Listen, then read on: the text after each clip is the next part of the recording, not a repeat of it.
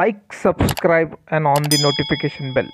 and guys hello and welcome back to my youtube channel friends sergej milinkovic Savic score a second goal against empoli guys match saving goal i will say lazio is three empoli is three you can see on screen guys once again i will say sergej milinkovic Savic score a match saving goal against empoli guys thank you very much for watching this video share this video subscribe the channel if you are a fan of lazio guys thank you very much